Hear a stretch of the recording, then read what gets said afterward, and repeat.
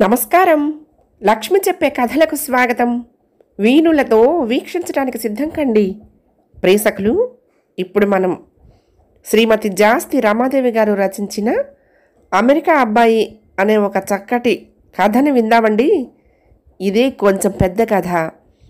చతురలో April రెండు వేల పదమూడులో ప్రచురింపబడింది ఈ కథ. ఇక కథ మొదలు పెట్టేస్తున్నాను సకులు. మావాడు అమెరికా నుండి వచ్చాడు. నేను ఈ మాట గర్వంతో చెప్పడం లేదు. పట్టలేని సంతోషంతో చెప్తున్నా. అమ్మా నేను అమెరికాలో బయలుదేరినప్పటి నుంచి నువ్వు ఇట్లా గేట్లోనే నిలబడున్నావా? ఏమిటమ్మా? అంటూ వచ్చి రావటంతోనే నన్ను అమాంతం పైకెత్తి గిరగిర రెండు చుట్లు దిప్పి దింపాడు మావాడు నేను తేరుకునే లోపుగా పొట్టి మమ్మీ అన్న బిరుదునిస్తూ అక్కడికి తానేదో అతడైనట్లు ఆరడుగులకు మూడు అంగుళాలు తక్కువే ఉంటాడు. ఏరా అట్లా లేపేశావు. అమ్మని బరువుగా లేదు? ఆశ్చర్యపోతూ రహస్యంగా అడిగారు మా వారు లోపలికొస్తూ. అందుకే అందుకేగా నాన్న రెండుసార్లు తిప్పి ఆపేసింది. లేకపోతే ఇంకా బోలుడు సార్లు తిప్పేవాడిని కాదు. నువ్వు మాత్రం ట్రై చేయకు నాన్నోయ్ నడుం పడిపోగలదు. కొంటెగా నవ్వుతూ నా భుజాల చుట్టూ చేతులేసి నా ఇంట్లోకి నన్నే నడిపించుకొచ్చాడు. ఇంకా సందడి ప్రారంభం. కబుర్లు నవ్వులతో కాలం పరిగెట్టడం మేము గమనించనే లేదు. అప్పుడే నాలుగు రోజులైపోయాయి. ఏంటమ్మా చేస్తున్నావు? తప్పు కాదు? మా వాడు అడిగాడు వెనక్గా వచ్చి. ఇల్లు ఉడ్చిన చెత్త చెదారం చేటలో నుంచి చక్కగా ఇంటి వెనకున్న ఖాళీ స్థలంలోకి హుషారుగా విసిరేస్తున్న నేను ఉలిక్కి పడ్డాను. కర్మ దొరికిపోయాను. చిన్నప్పటి నుంచి అంతే అన్నీ వీడికే కావాలి. చెత్త తీసుకెళ్ళి అతను వచ్చి పది రోజులైంది. రెండు బకెట్లు నిండిపోయి ఉన్నాయి. అందుకని ఇట్లా నసిగాను. నువ్వే కదమ్మా చిన్నప్పుడు రోజు చెప్పేదానివి. ఈ దేశం ఒక చెత్త కుండీలా తయారైపోయింది. మనం బాగు చేయలేకపోయినా కనీసం మన వంతు పాడు చేయకుండా ఉంటే చాలు అని. మరి ఇప్పుడేంటమ్మా ఈ పని? అడిగాడు. మా వాడికి జ్ఞాపక శక్తి చాలా ఎక్కువ. అది అన్ని వేళలా సంతోషించాల్సిన విషయం కాదని ఇప్పుడే తెలిసింది నాకు కూడా. రేపటి నుంచి వెయ్యంలేరా ఈ ఒక్క రోజుకి క్షమించరా? అని చెప్పి ఎట్లానూ చూసేశాడుగా అని. ఇంకా విరిపే ఉందని వంటగదిలో ఉల్లిపాయ పొట్టు కూరగాయల తొక్కులు కూడా తెచ్చి గోడ వెనక్కి విసిరేశాను. అయ్యో అమ్మా నేను నీకోసం ఆ స్థలం కొనిపెడదాం అనుకుంటున్నాను. నెత్తి కొట్టుకున్నాడు మావాడు నా వెనకే లోపలికి వస్తూ నాకు ఇంకా అడుగు ముందుకు పడితే ఒట్టు. ఈ ముక్క పది నిమిషాల ముందు కాస్త చెప్పు ఉండొచ్చు కదా. మూడేళ్ళప్పుడు వాడికి మూడు చక్రాల సైకిల్ కొనిపెట్టినప్పుడు వాడు సంతోషించిన దానికన్నా ఎక్కువ సంతోషం కలిగింది నాకు మనసులో. ఇంకా చచ్చిన ఇంటి వెనక చెత్తయ్యను ఇతరులను వెయ్యనివ్వను అని ప్రతిజ్ఞ కూడా చేసేసుకున్నాను అర్జెంటుగా. కొనేస్తాను అన్నాడంటే నిజంగా అంత డబ్బు సంపాదించేశాడన్నమాట ఎంతైనా America అమెరికాయే. Five days jail two days bail అని ఆడిపోసుకుంటాం కానీ ఏరా ఎప్పుడు కొనేస్తావు? నాకు ఎప్పటినుంచో చిన్న ఆశ. This land belongs to Ramadevi అని బోర్డు పెట్టుకోవాలని. మీ నాన్నను ఎప్పుడు అడిగినా ఆయన బట్టతలు చూపిస్తారు ఇక్కడ పెట్టుకో అంటూ. అదేదో పెద్ద కోలారు బంగారుగానే అయినట్టు. ఇంతకీ నీ దగ్గర యాభై లక్షలు ఉన్నాయట్రా? సంబరంగా అడిగాను. ఓ సంతేనా? నేను ఇంకా రెండు మూడు కోట్లు ఉంటుందేమో అనుకున్నానమ్మా. ఒట్టి యాభై అయితే పర్వాలేదు. ఓ రెండు మూడు తొమ్మిది పది సంవత్సరాల్లో కొనేసుకోవచ్చు ఈజీగా. తేలిగ్గా చెప్పాడు. పాపం అమెరికా వెళ్ళాక అంకెలు కూడా మర్చిపోయినట్టున్నాడు. మూడేళ్ళ క్రితం ఆంధ్ర రాష్ట్ర చరిత్ర తిరగబడకపోతే అంతా అయ్యేదేమో కానీ అదృష్టమో దురదృష్టమో మా ప్రగతి అక్కడ ఆగిపోయింది అన్న క్షణంలో స్థలం చేయిజారిపోయినందుకు పదేళ్ళు ఆగాల్సి వచ్చినందుకు నిరుత్సాహపడుతూ. ఈ స్థలం కొనిస్తే నువ్వేం చేస్తావమ్మా? బోర్డు పెట్టడం కాకుండా? మావాడు కుతూహలంగా అడిగాడు. అయినా కొనివ్వనప్పుడు ఏం చేస్తే వీడికెందుకో? చందమామ కథల్లోనూ కాశీమజిలి కథల్లోనూ చదివేవాళ్ళం. కాకులు దూరని కారడవి చీమల దూరని చిట్టడివి అని అట్లాంటి అడవిని ఒక దాన్ని పెంచుకోవాలని నా కోరిక. నిజం చెప్పేస్తే కాస్త తొందరగా కొనిపెడతాడేమో అని ఆశ. ఏమిటి? ఈ రెండు వందల గజాల్లోనే మా వాడు విస్తుపోయాడు. అయినా మళ్ళీ నువ్వు వేరే పెంచడం ఎందుకు? ఇది ఆల్రెడీ కంప చెట్లు చెత్తా చెదారాలతో అట్లానే ఉందిగా అన్నాడు. అట్లాంటి దాంట్లో వాడు అచ్చం నాన్న పోలిక. అడుగడుక్కి ఆశ్చర్యాలు నిర్ఘాంతాలు హాహాకారాలు అన్నీ ఎక్కువే. అవును రెండు వందల గజాలే. అయితే ఏం? మంచం కొద్దీ కాళ్ళు చాపుకుంటాము. నాకు సర్దుకుపోయే గుణం ఎక్కువ. మరి ముప్పై ఏళ్ళ సంసార జీవితమాయే చిహ్యములు కాకలే దూరనప్పుడు మరి నువ్వెలా దూరతావమ్మా అందులో? మళ్ళీ ఆశ్చర్యం మా వాడికి. నేనెందుకు దూరతాను? ఎంచక్క మన డాబా మీదకెక్కి అక్కడి నుండి చూసుకుంటాను. బోలెడని చెట్లు వాటికి అల్లుకుని అడవి తీగలు పువ్వులు పళ్ళు పిట్టలు పిచ్చుకలు చిలకలు ఉడతలు నెమళ్ళు వాటి ఆటలు అరుపులు. అబ్బా ఎంత బాగుంటుందో. కళ్ళు తెరిచే కలల్లో తేలిపోయాను. మరి అంత అడవి పెరగాలంటే బోలెడు సంవత్సరాలు పడుతుందేమో కదమ్మా. మరి అంతవరకు నీ కేర్ ఆఫ్ అడ్రస్ భూమండలమేనా? ఆశ్చర్య ఆనందాలతో అడిగాడు. పైకి పోవా అని సూటిగా అడగలేదు. ఎంత తెలివో అచ్చం నాదే. మురిసిపోయాను. కేర్ ఆఫ్ ఆకాశం అయితే పైనుండే చూసుకుంటూ ఉంటాను. ధీమాగా చెప్పాను. నువ్వెంతకైనా తగుదువమ్మా. మెచ్చుకున్నాడు వాడు. మా వాడితో కబుర్లాడుతూనే రెండు గదులు తడి బట్టతో తొడవటం పూర్తి చేశాను. మా వాడు ఇంకా అడవిలో నుంచి బయటకు వచ్చేసి అమ్మా మాకు ఆకలేస్తోంది. పొద్దున్నే ఈ పనంతా పెట్టి కూర్చున్నావేంటి? నాకైతే నిద్ర కూడా వస్తుంది. నిల్చునే నా మీదకి తోలపోయాడు. మా పక్కనే ఉన్న చిన్న వీధిలోని ఓ ఇంట్లో మూడు రోజుల పెళ్ళి జరుగుతోంది. చెవులు చిల్లులు పడేలా బ్యాండ్ మేళం సినిమా పాటలు మైకులో మధ్య మధ్య టపాకాయల మోతలు. ఒకదాని తర్వాత మరొకటి రోజంతా మమ్మల్ని గుక్క తిప్పుకొనివ్వటం లేదు. ఏమిటమ్మా ఈ న్యూసెన్సు? ఒక్కళ్ళు వెళ్ళి వాళ్ళని ఈ గోలేమిటని అడగలేరా? నిద్ర లేకపోతే పొద్దున్నే లేచి పనులు ఎలా చేసుకోవాలి? ఎంత కష్టం? చుట్టుపక్కల వాళ్ళకి చంటి పిల్లలు చదువుకునే పిల్లలు వృద్ధులు ఇట్లా అన్ని రకాల వాళ్ళు ఉంటారు ఇళ్ళల్లో. వాళ్ళంతా ఎట్లా భరిస్తారు ఈ తలనొప్పిని? మా వాడు చిరాకు పడిపోతూనే ఉన్నాడు. వచ్చిన వెంటనే ఈగోల మొదలవ్వటంతో వాడికి కంటి మీద కునుకు లేకుండా ఉంది. వాడు చెప్పినవన్నీ నిజమేనని నాకేమిటి అందరికీ తెలుసు. కానీ ఏం చెయ్యలేం. ఏ హై ఇండియా? ఇదే అన్న వాడితో. అందుకే చెప్తున్నా నాన్న నువ్వు హాయిగా నా దగ్గరికి వచ్చాయండమ్మా అని. అందరం అక్కడే సెటిల్ అయిపోదాం. ఏ గోలలు ఉండవు. ఎంత అందంగా ప్రశాంతంగా ఉంటుందో తెలుసా అక్కడ? ఈ నాలుగు రోజుల్లోనూ నలభై సార్లు చెప్పాడు ఇప్పటికీ. మేము విని విననట్లు ఊరుకున్నాము. పక్కింటి వాడి పెళ్ళికే దేశం విడిచి పారిపోతామా ఏమిటి? ఒట్టి పిచ్చికొయ్యా అనుకున్నా. జాగ్రత్తరా బాబు మీ అమ్మకి మనుషుల్ని పడగొట్టే అలవాటు ఇప్పటికీ పోలేదు. ముప్పై ఏళ్ళ నాడు నన్ను పడగొట్టింది. ఇప్పటికీ లేవలేదు నేను. మా వారి గొంతు నూతిలో నుంచి వస్తోంది. ఆకలి కాబోలు. ఇది కాస్త ఆలోచించాల్సిన విషయం లాగానే ఉంది. పడగొట్టడం గురించి కాదు వారి ఆకలి గురించి. అమ్మా నువ్వు పని చేయటం ఏమిటి అసలు? పనమ్మ ఎందుకు రాలేదు ఈవేళ? మావాడు వేరే వైపు నుండి నరుకు రావటం ప్రారంభించాడు. అక్కడికి నేనేదో క్వీన్ ఎలిజబెత్కి చెల్లెళ్ళైనట్టు పని మొహమే ఎరగనట్టు. ఏమిటి? వెటకారమా? నేను నా పని ఆపలేదు. నేను పతికి పనికి భయపడే రకం కాదు మరి.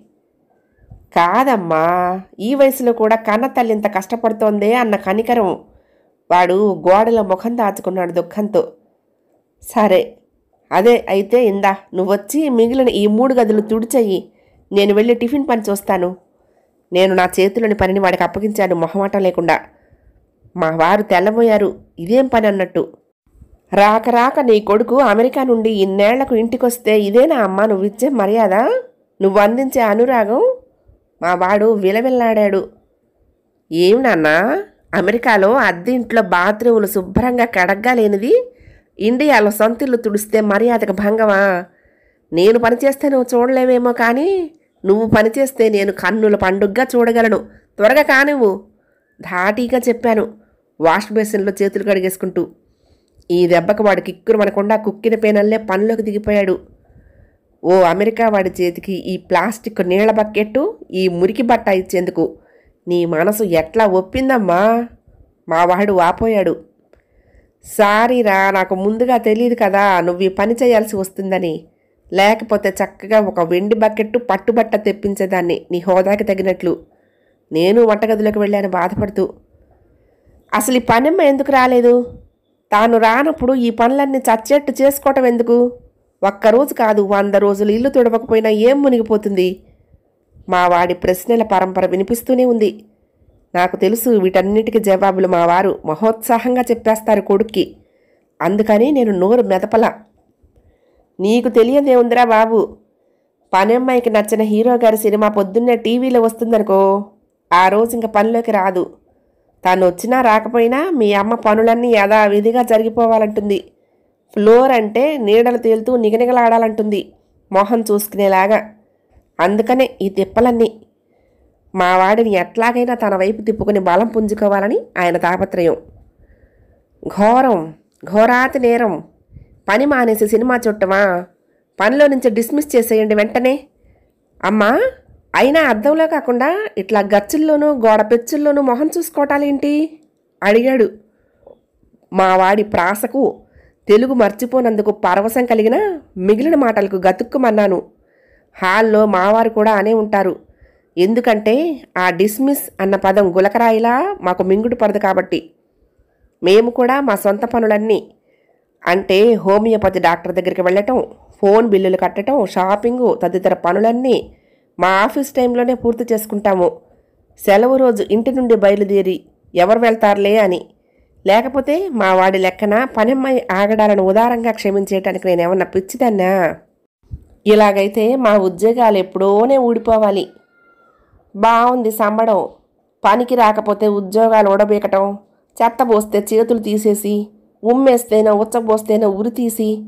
ఇట్లాగైతే ఇంకా భూమి మీద మనుషులు బతికి బట్ట కట్టినట్లే. అది ఇండియాలో.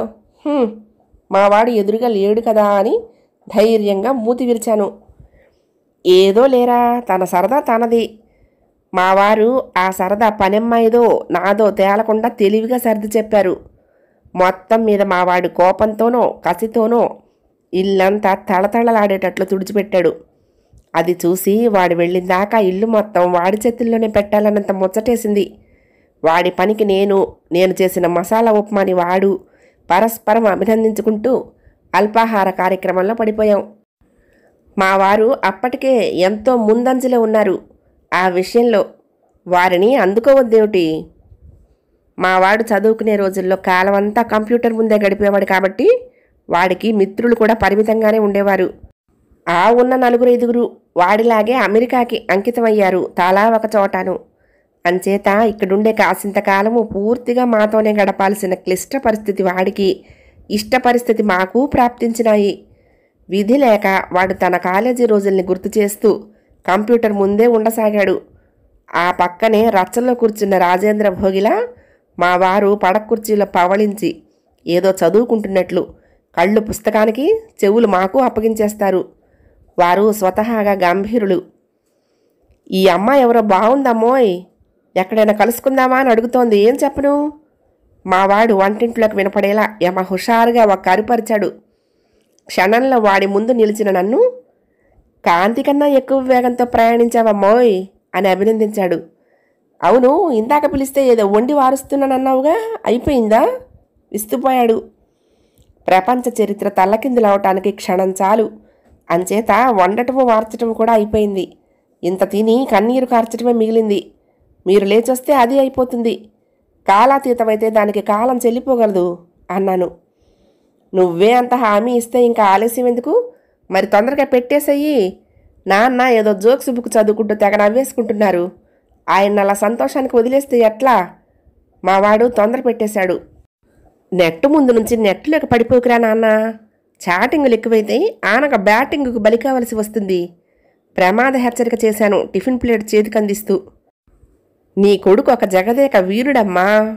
వలలు వాడినేమీ చేయలేవు. చింపి పారేస్తా. ఛాతి విరిచి మీసాలు తిప్పుకోవాలని మూతి మీద చెయ్యేసుకుని అవి లేవన్న సంగతి గుర్తుకొచ్చి ఆగిపోయాడు. ఎంతటి వీరుడైనా ఏ జడదెబ్బో తగిలితే ఇంతే ఇంకా నా అనుభవ సారంతో చెప్పాను మా వారిని ఓరగా చూస్తూ.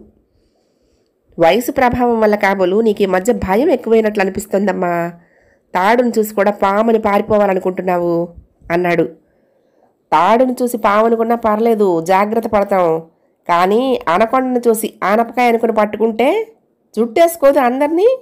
అదే మాట చెప్పాను. నువ్వు టీవీ సీరియల్స్ ఎక్కువగా చూడకమ్మా. చక్కగా వేరే ఏదైనా కాలక్షేపం పెట్టుకోరాదు. వాడు మాట్లాడుతున్నా కళ్ళు మాత్రం ఆ కంప్యూటర్ మీద నుంచి తిప్పడు కదా. అందుకేరా కథలు రాయటం మొదలుపెట్టాను. కళాస్వాదనో కళారాధనో. అది లేని బతుకు కళావిహీనం అన్న కనువిప్పు కలిగాక కలం పట్టాను.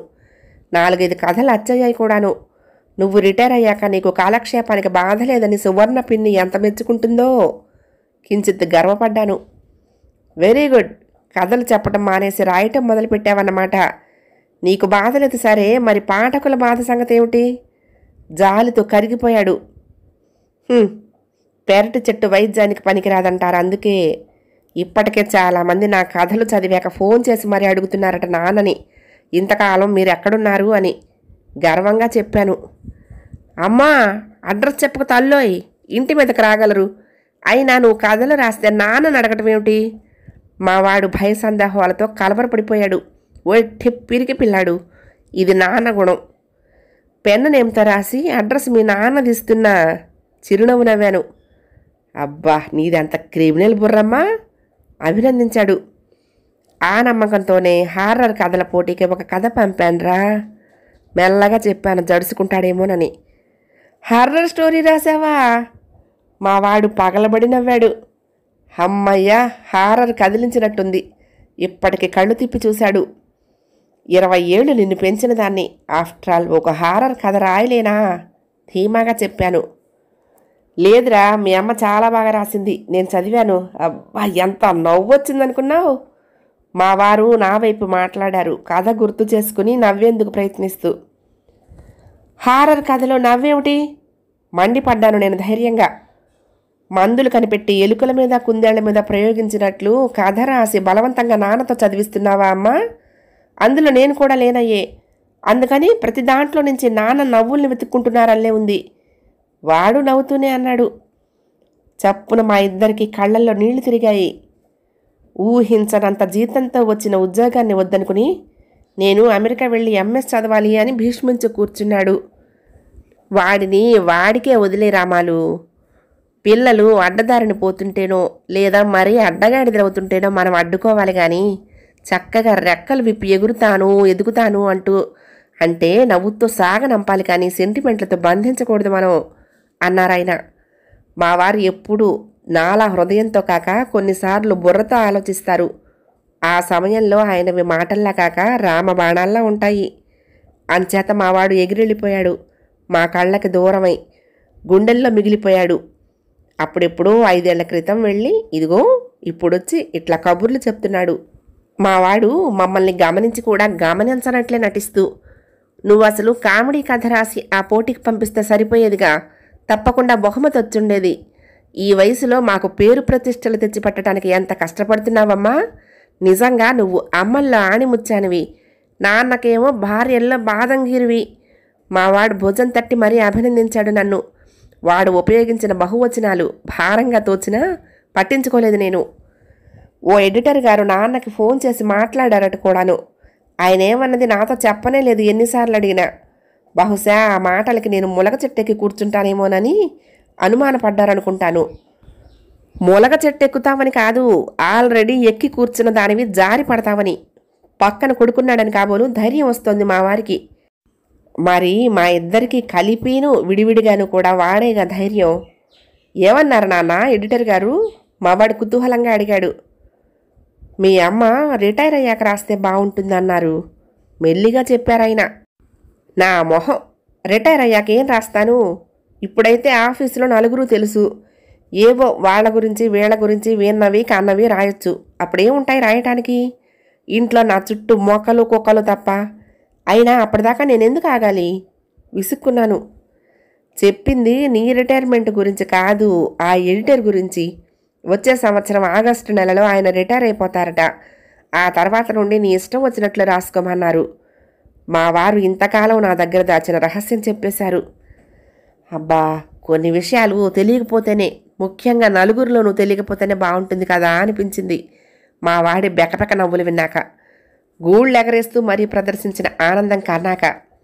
ఒకరి మాట చెవి వినటం ఒకరికి తలబొగ్గి బతకటం మా ఇంట వంట లేవు అసలు వినే టైపే కానీ విసిగించే టైపు కాదని కదా మా వారిని ఏరుకోరు చేసుకుంది. అసలు నాతో ఏ పనైనా చేయించాలంటే నా వల్ల తప్ప మరెవ్వరి వల్ల కాదు. అట్లాంటిది ఆ ఎడిటర్ ఎట్లా వ్రతభంగం చేయగలడు? లోపల లోపల పళ్ళు నూరుకుంటూ ఉండగా బయట నుండి ఎవరో పిలిచినట్లు అనిపించి చప్పున బయటకు వచ్చాను మామిడి చెట్టు గోడ మీదకి పడిపోయిందమ్మా. ఎదురింటి వాచ్మెన్ చెప్పాడు గేటులో నుంచి. తల తిప్పి చూద్దుని కదా గుండె జబ్బు వచ్చి కూలిపోయిన పెద్ద మనిషిలా ఒరిగిపోయి ఉంది. ఇరవై ఏళ్ళ నాటి మామిడి చెట్టు.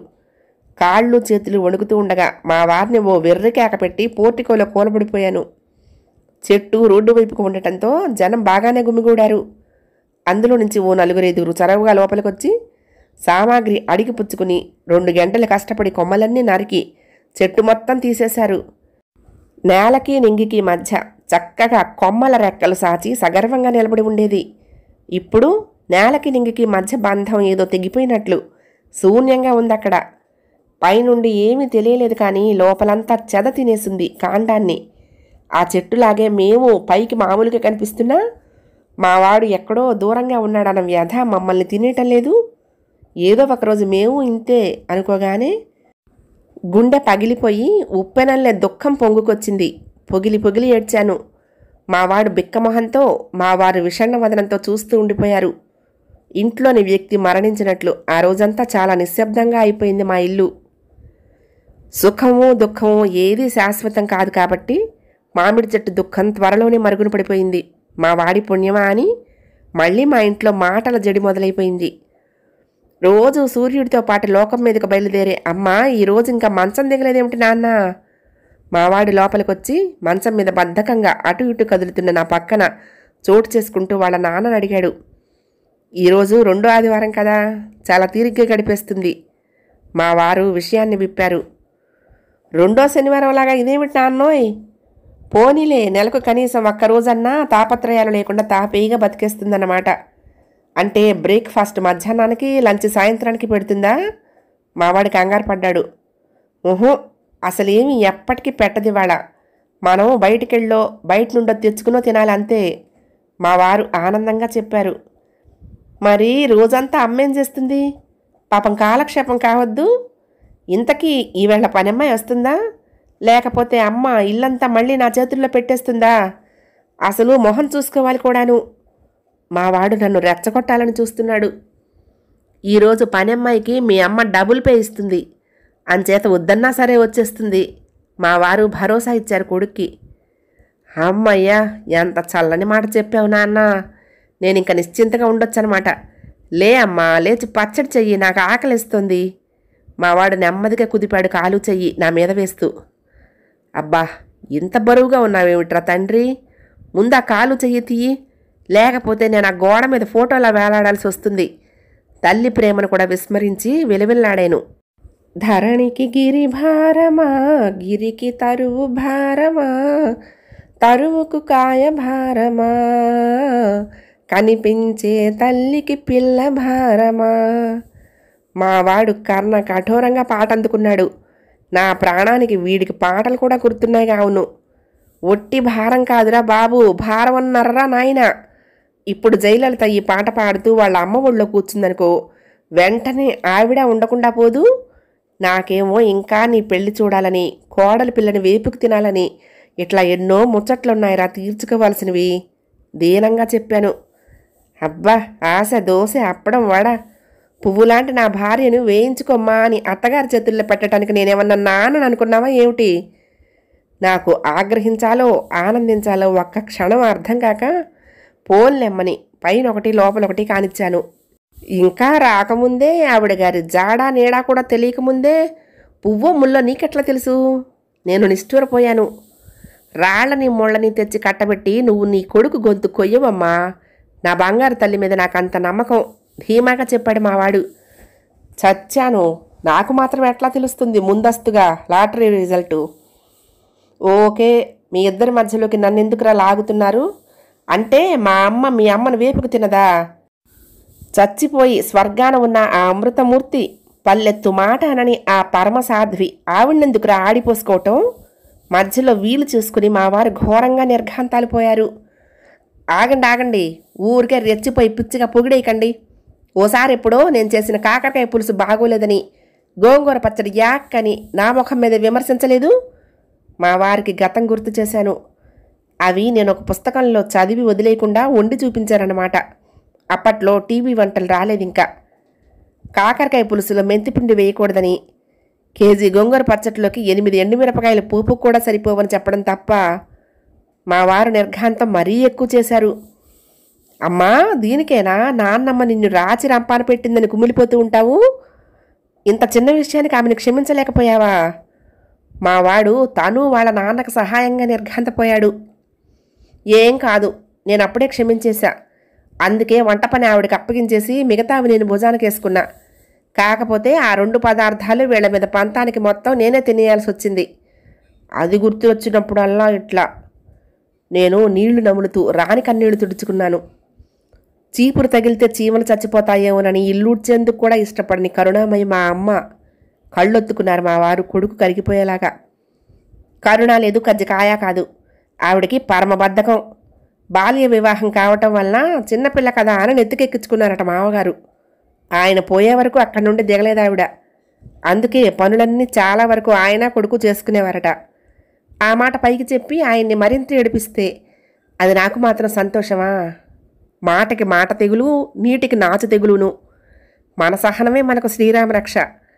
అందుకే నా మౌనంతో ఆయన ఆనందపెట్టాను పోన్లేమ్మా గతం గత నువ్వైతే ముందు లేచి మొహం కడుక్కుని చక్కగా పచ్చడి చెయ్యి. మావాడు మళ్ళీ మొదలుపెట్టాడు. పాపం పిచ్చి సన్యాసికి నిజంగానే ఆకలిస్తున్నట్టుంది. వద్దురా చూస్తూ చూస్తూ పెళ్ళిడికొచ్చిన నిన్ను పచ్చడి చేయలేను. సముచిత నిర్ణయానికి వచ్చాను వాడిని కొట్టగలిగే వయసులోనే కొట్టలేదు. వాడి కుంటె పనులకు చిత్త కొట్టాలని ఉండేది. కానీ దొరికేవాడు కాదు. ఇంటి చుట్టూ పరిగెత్తించేవాడు. అందుకేనేమో అప్పట్లో సన్నగా శలాకలా ఉండేదాన్ని. పోమ్మా అటు పచ్చడి చేయవు ఇటు పెళ్ళి చేయవు విసుక్కున్నాడు. మొదటి దానికి టైం దాటిపోయింది. రెండో దానికి ఇంకా టైం రాలేదు. క్లుప్తంగా చెప్పాను. అసలు ఈ పెళ్ళి ఆలోచన ఎందుకు వచ్చింది నాన్న నీకు? మా వారు జాలిగా అడిగారు. ఒక్కడనే వండుకుని ఒక్కడనే బట్టలు ఉతుక్కుని బోరు కొడుతోంది నాన్న. ఇద్దరివి అయితే కాస్త చేంజ్గా ఉంటుందని మావాడు గారాలిపోయాడు అచ్చం నా పోలికే ఇందులో అన్నింటికీ ముందే ప్రిపేర్డ్గా ఉంటున్నామన్నమాట మా వారు మురిపంగా చూసుకున్నారు కొడుకుని. నాకు మనసు భగ్గుమంది. నా పిచ్చి తండ్రి కోసం ఏ యువరాణి పుట్టి పెరిగి ఉన్నదో బంగారు పూలతో పూజ చేసుకుని పోన్లే ఆ పాడు పనులన్నీ నా పాపిష్టి కళ్ళతో చూడనక్కర్లేకుండా అమెరికాలో పడి ఉంటారు దూరంగా అనుకున్నాను. నీకు ఆకలిస్తే దోశల పిండి ఫ్రిడ్జ్లో ఉంది దోశలు వేసుకుని ఆవకాయ పచ్చడితో తిను కఠినంగా చెప్పాను. ఆవకాయ అంటే గుర్తొచ్చిందమ్మా ఇంట్లో పొద్దున్న మనిషి చచ్చిపోతే రాత్రి కూర్చుని టీవీ సీరియల్స్ చూస్తున్న ఈ రోజుల్లో మామిడి చెట్టు కోసం ఎందుకమ్మా అంతలా ఏడ్చావు? మా వాడు ఆరా తీశాడు. మానే గాయం గెల్లటంలో వీడు ఫస్ట్. నువ్వు చిన్నప్పుడు దాని కొమ్మల మీద ఎక్కి ఆడుకునేవాడివిగా? దాని ఆకులు కొమ్మలు పళ్ళు నీ ఆటలు అన్నీ గుర్తొచ్చాయిలే చెప్పాను. నేనా? చెట్లెక్కటమా కింద పడితే ఆఫీసుకు సెలవు పెట్టి ఆసుపత్రి చుట్టూ తిరగలేనని డాబా మెట్లే ఎక్కదిచ్చేదానివి కాదు కదమ్మా. ఈ కృష్ణలీలలన్నీ నన్నెప్పుడు చేయనిచ్చావు? మా వాడు ఆరు నెలలకు సరిపోను ఆశ్చర్యపడ్డాడు. ఎడం చేత్తో గిన్నె బాగా పైకెత్తి రవ్వ పోస్తూ కుడి చేత్తో బాణలిలో ఉప్మా కలిగి పెడుతూ ఉంటే ఎట్నుండి వచ్చాడో? ఉహ్ ఉహ్మని ఊదాడు రవ్వని. ప్లాట్ఫామ్ మీద స్టవ్ మీద వెనక టైల్స్ మీద ఎక్కడ చూసినా రవ్వ అతుక్కుపోయి ఉప్మా సంగతి ఊపరవాలా కుదిలేసి స్టవ్ ఆపేసి మరి అపరకాళికి అవతారం ఎత్తి మూలనున్న చీపుడు తీసుకుని వెంటపడ్డాను. కానీ దొరికితేగా ఆ మొత్తం శుభ్రం చేసుకునేటప్పటికే అరపూట పట్టింది. తేలిగ్గా అవకొట్టాలని అసలు ఈ ఉప్మా పెట్టుకున్నా కష్టపడాలన్న విధిరాతను తప్పించుకోలేకపోయాను. అసలు రవ్వ అంతెత్తు నుండి పోసి కలపాలని నీకెవరు చెప్పారమ్మా? ఆ రాత్రి మెల్లిగా పక్కన చేరి ఇదిగో ఇట్లానే కాలు చెయ్యి మీద వేసి పడుకుని అడిగాడు కిచకిచా నవ్వుతూ ఉప్మా రుచి అంతా ఉండకట్టకుండా కలిగి పట్టడంలోనే ఉంటుందిరా. ఎంత ఎత్తు నుండి పోస్తే అంత బాగా కలిగి పెట్టొచ్చని మా అమ్మమ్మ చెప్పింది. తనైతే మా చిన్న మామయ్యని పిలిచేది. పొడుగ్గా ఉంటాడు బాగా పైనుండి పోస్తాడని. నాకు ఈ చిట్కా చెప్పిన మా అమ్మమ్మని భక్తిగా తలుచుకుంటూ చెప్పాను. అయితే ఈసారి నిన్ను నువ్వు కూడా నన్ను పిలువు. నేను అటకెక్కి కూర్చుని అక్కడి నుంచి పోస్తాను నీకు రవ్వని. పడి పడి నవ్వాడు. వాడి నవ్వుతో నేను కూడా కదిలిపోవలసి వచ్చింది. ఇప్పుడు ఏవి తల్లి నిరుడు కురిసిన హిమ సమూహములు? ఇప్పటికీ ఉప్మా కలిపేటప్పుడు వాడే గుర్తొస్తాడు. ఇంకెప్పుడు ఏమీ కోప్పడను. ఒక్కసారి వచ్చి మళ్ళీ రవ్వనట్లా ఊదేసి పోరా అని గుండె పిలుస్తూనే ఉంటుంది. రోదిస్తూ గువ్వ ఎగిరిపోయింది మా గూడు చిన్నపోయింది కాలం వెనక్కిపోదుగా ఏమిటమ్మా కృష్ణలీలనగానే ఉప్మా గుర్తొచ్చిందా? నాకు కూడా ఎప్పుడు నువ్వు చీపురు తీసుకుని నా వెంట పట్టం గుర్తుకొస్తూ ఉంటుంది ఉప్మా అనగానే. మళ్ళీ అప్పటి నవ్వే నవ్వాడు ఎంత ముద్దొచ్చాడని? ఒరే నాన్న మనం ఎంత తపస్సు చేసినా మీ అమ్మ లొంగదు కానీ పద. మనం వెళ్ళి చక్క హోటల్లో టిఫిన్ చేసి వస్తూ వస్తూ మీ అమ్మకు కూడా ఏ పెసరటో తెచ్చి పెడదాం అన్నారు మా వారు ఎంతైనా ఆయన కర్తవ్యాన్ని గుర్తెరిగిన వారు. మా వాడిని లేవదీశారు. అసలు నా వంట తప్పించుకోవటం అంటే ఆయనకి ఎంత ఇష్టమో. మధ్యాహ్నం భోజనంలోకి స్పెషల్ చేస్తానులే ఇప్పటికి వెళ్ళి రండి అన్న హామీ ఇస్తూ. అదేలేండి ఆయన్ని బెదిరిస్తూ. ఏమిటమ్మా ఆ స్పెషలు? వెళ్ళబోతున్నవాడు కాస్త వెనక్కొచ్చి మరీ అడిగాడు మావాడు. బెంగుళూరు గుత్తి వంకాయ కూర అన్న ఊరిస్తూ. అదా మళ్ళీనా? మావారు హడలిపోయారు. అవెట్లా గుత్తి వంకాయ కూర వండుతారమ్మా? ఒక్కొక్కటి అర కేజీ ఉంటుంది కదా. మావాడు నోరు తెరిచాడు కేజీ కాయలు పట్టేలా. డబ్బాల్లోని పచారీ సామాన్లన్నీ ఒక్కొక్క స్పూన్ చొప్పున తీసుకుని వేయించి ఆ మొత్తం మిక్సీలో ఒక ముద్దలా వేసి దాన్ని అంత లావు కాయకి మధ్యలో కూర్చేసి పొయ్యి మీద పెద్ద గుండిగంత బాణల్లో పడేస్తుంది. ఓ పెద్ద కప్పు నూనె పోసి ఉడికిన తర్వాత చూస్తే అచ్చం అది కాల్చిన మేక తలకాయలా ఉంటుంది. పైగా అంతలావు కాయని మనం ఒక్కళ్ళం తిని చావలేం కూడా. ఆ వంటకాన్ని టీవీలో చూసిందిట ఒకసారి. చూసినవి చదివినవి చెయ్యొద్దని నెత్తి నోరు కొట్టుకున్న వింటేగా మధ్యాహ్నానికి మళ్ళీ అది చేస్తుంది కాబోలు. అయినా పోయినసారి దాన్ని కాశీకి కళ్ళినప్పుడు వదిలేసి వచ్చాంగా.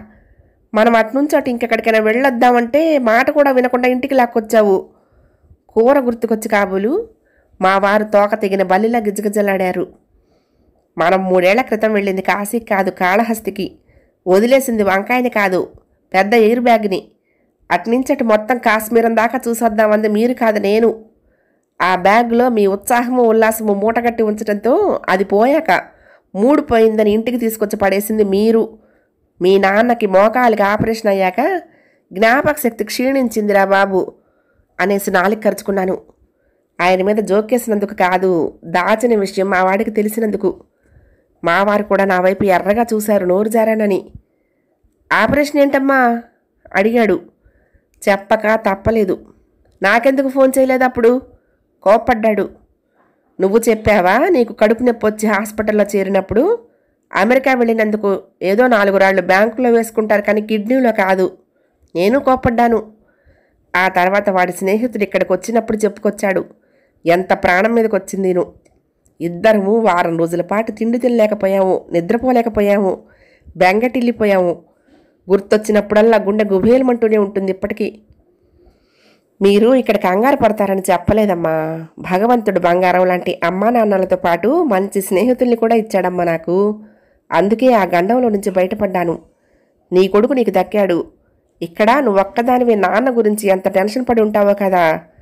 వాడి గొంతు రుద్ధమైంది. నాన్న కూడా ఎంత భయమేసి ఉంటుందో కదిలి కరిగి నీరయ్యాడు. పిచ్చి నాన్న స్నేహితుల భరోసాతాను నువ్వంత ధైర్యంగా ఉంటే నాకు అమ్మ ఆత్మబంధువు ప్రాణ స్నేహితురాలు. ఇట్లా ఆల్ ఇన్ వన్ అయిన మీ అమ్మ తోడుండగా నాకేం భయంరా?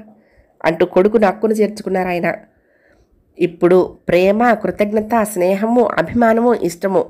ఇట్లా అవి ఇవి అన్నీ కలగలిపి ఆయన నా వైపు చూసిన చూపు మా ముప్పై ఏళ్ళ దాంపత్య జీవితానికి పట్టిన ప్రేమహారతి ఒక్కోసారి మా వారు హృదయంలో నుంచి మాట్లాడతారు ఆ మాటలు అమృతపు చినుకులే. అమ్మ ఉంటే అన్నీ ఉన్నట్లే అందరూ ఉన్నట్లే. మా అమ్మ బంగారు కొండ. మావాడు ఒకవైపు ఆయన ఒకవైపు ప్రేమగా చేతులతో చుట్టి చెరొక భుజం మీద తలవాల్చారు ఇంకేం కావాలి జీవితానికి? గుండె కరిగి కన్నీళ్ళు జలజలా రాలాయి. వీటికి ఎప్పుడు రావాలో తెలీదు.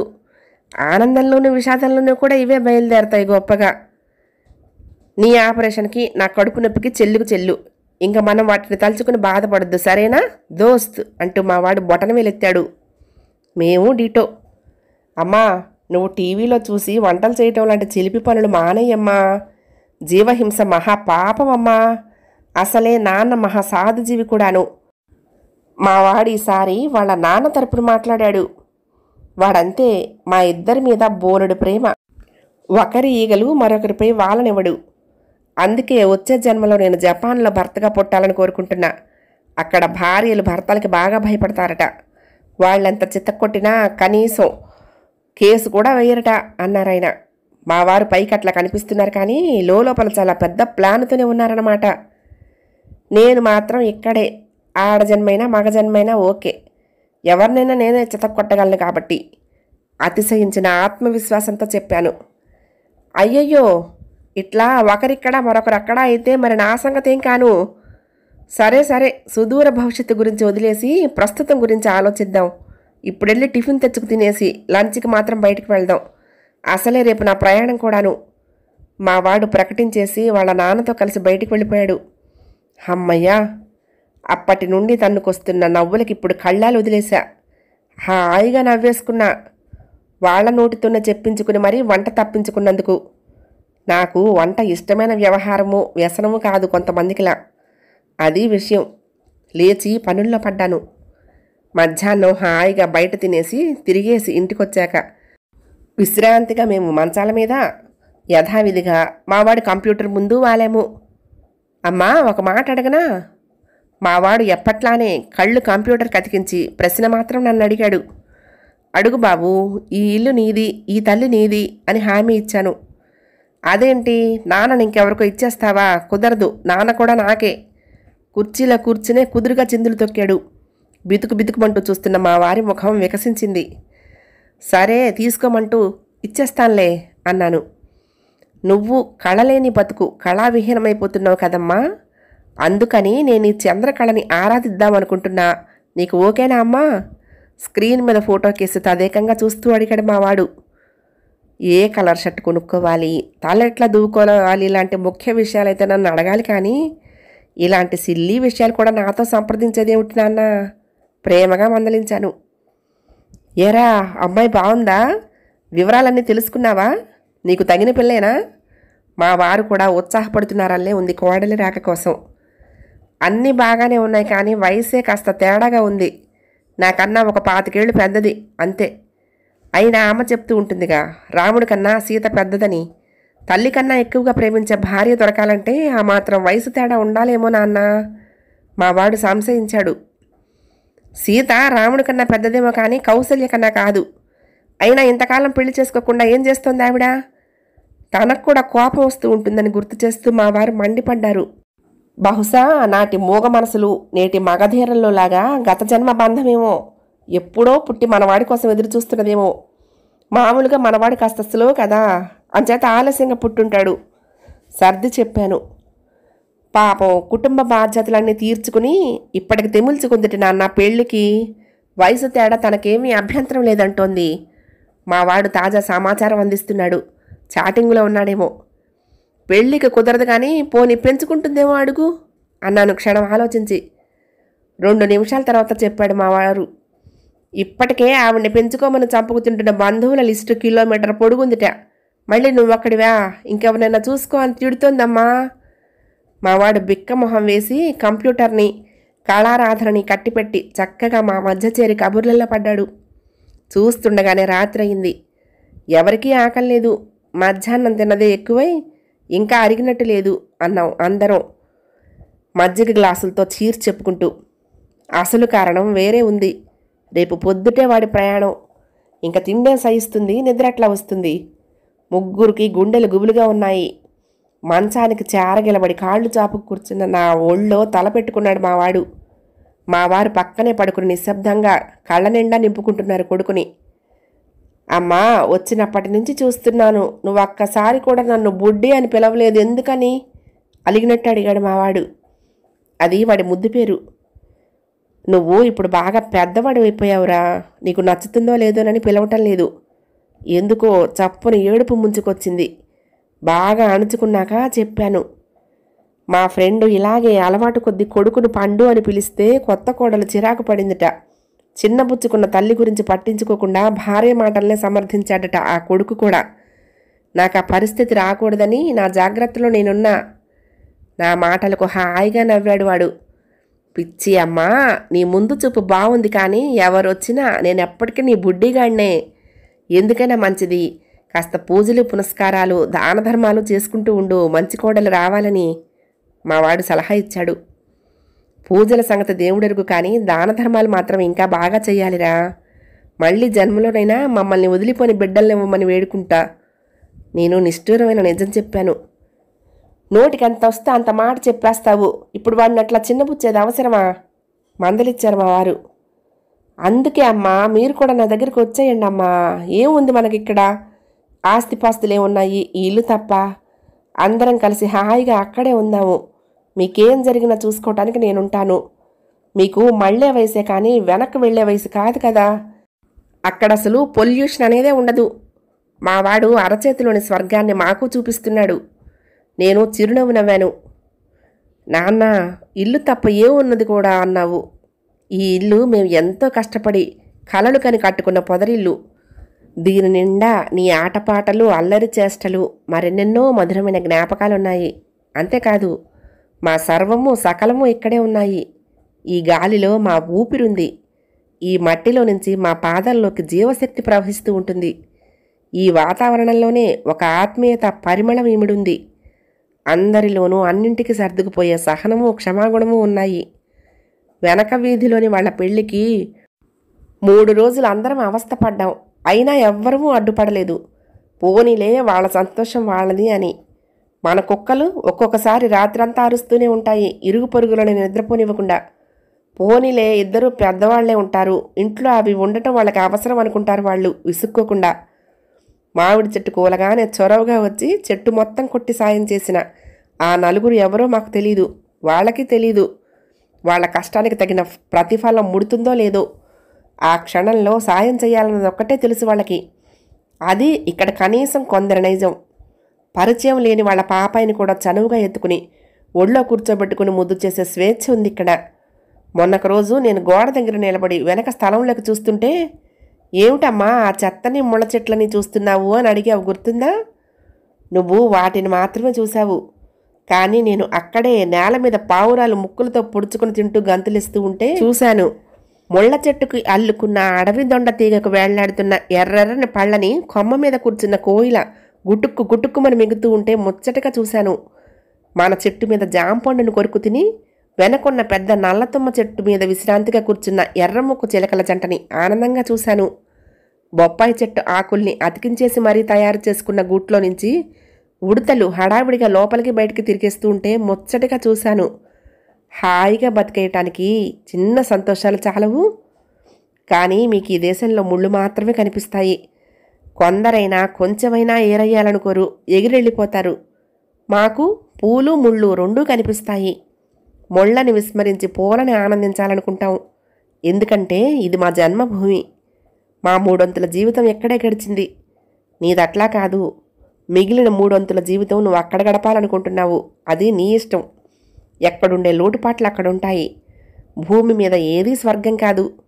మన మనసే ఏది సృష్టించినా మాకు మాత్రం ఇక్కడే ఈ నేల మీదే ఈ మనుషుల మధ్యే మా పూర్వీకుల అడుగుజాడల్లోనే కడతేరిపోవటం ఇష్టం.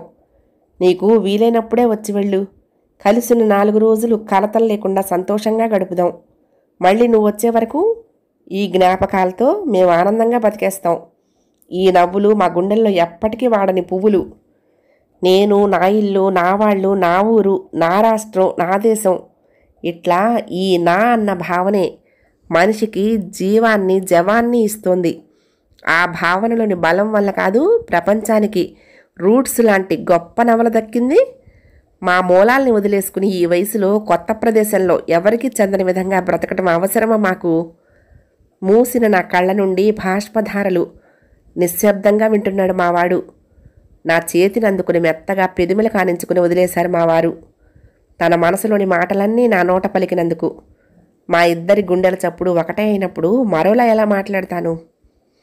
మా వాడు నా చేతిని కళ్ళ మీద ఉంచుకున్నాడు.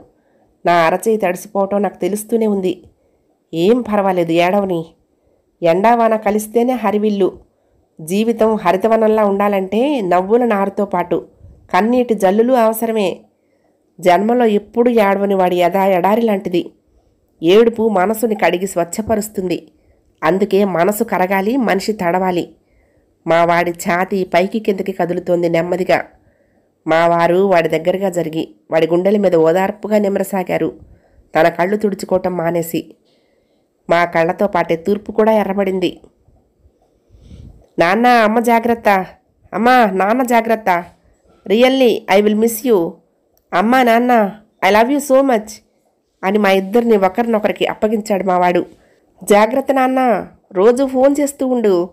మేమిద్దరం వాడిని వాడికే అప్పగించాం. గుండె చెరువవుతూ ఉండగా బాయ్ అమ్మా దగ్గరకొచ్చి మా ఇద్దరిని గట్టిగా గుండెకి హత్తుకుని గబగబా వెళ్ళి కారులో కూర్చున్నాడు. కారు కదిలిపోయింది. మేము ఎయిర్పోర్ట్కి వెళ్ళాం. వాడు ఎగిరిపోవటం చూసే శక్తి లేదు మాకు. మూసిన గేటు వైపు వెర్రిచూపులు చూస్తున్న నన్ను పొదివి పట్టుకుని లోపలికి తీసుకొచ్చారు మా వారు. పిచ్చి కాలం ఒక ప్రవాహం. ముప్పై ఏళ్ళ క్రితం ఈ ఒడ్డున మన అమ్మా నాన్నలున్నారు ఇప్పుడు మనమున్నాము. రేపు వాడుంటాడు. ఇది జీవితం. అంతే. ఎవరో ఒకరు వెళ్ళిపోయే వరకు మిగిలేది ఒకరికొకరు మనిద్దరమే. ఒక్కోసారి మా వారు ఆత్మలో నుంచి మాట్లాడతారు. అప్పుడైన మాటలు తిరుగులేని జీవిత సత్యాలు. ఆ సమయంలో నీవే తల్లివి తండ్రివి సఖుడవు గురుడవు. సకలము నీవే. నిజముగా కృష్ణ అనిపించి అద్భుతంగా తోస్తారు. మనసు మోగబోయింది. కోడు విరిగిన మంచాల్లా మిగిలామిద్దరం ఇంట్లో. ఇంతలో ఫోన్ మోగింది. ఫోన్లో మావాడు ఏడవకమ్మా మా అమ్మ ఎప్పుడు నవ్వుతూ నవ్విస్తూ ఉండాలి అంతే వణుకుతున్న గొంతుతో శాసిస్తున్నాడు. వాడికి తెలీదు సూర్యుడు లేకుండా వెలుగు చంద్రుడు లేకుండా వెన్నెల వాడు లేకుండా మాకు నవ్వులు ఉంటాయా? పోని మీరు చెప్పండి ఉంటాయా? మావాడు అమెరికా వెళ్ళాడు.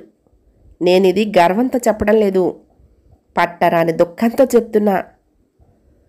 కథ సమాప్తం. ప్రియ సఖులు ఈ కథ మీకు నచ్చితే తప్పకుండా లైక్ చేయండి షేర్ చేయండి కామెంట్ చేయండి సబ్స్క్రైబ్ చేసుకుని నన్ను ఎంకరేజ్ చేయండి. ఉంటానండి ప్రేమతో లక్ష్మి కృష్ణా తీరం దుర్గమ్మ సన్నిధానం. నమస్తే.